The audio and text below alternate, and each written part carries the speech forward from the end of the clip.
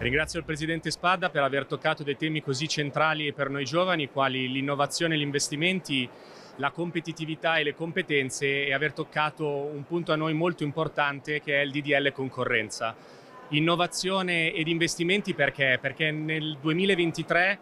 in Italia eh, abbiamo un risultato del solo 0,06% riguardante gli investimenti in venture capital rispetto a un dato assoluto a livello europeo dove Francia e Germania hanno investito 7 e 6 volte di più rispetto al mercato italiano. Competenze e ehm, competitività invece riguarda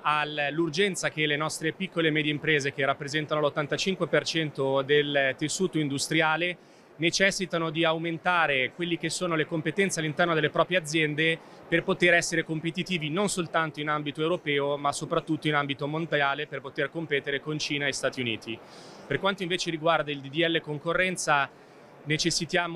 chiediamo come Assolombarda e come imprese di apportare dei cambiamenti rispetto alla normativa in quanto i 20.000 euro di capitale sociale e un dipendente eh, che sono delle norme che obbligano le imprese a raggiungere questi standard del secondo anno di vita compromette il 70% di tutte le start-up iscritte nel registro delle imprese.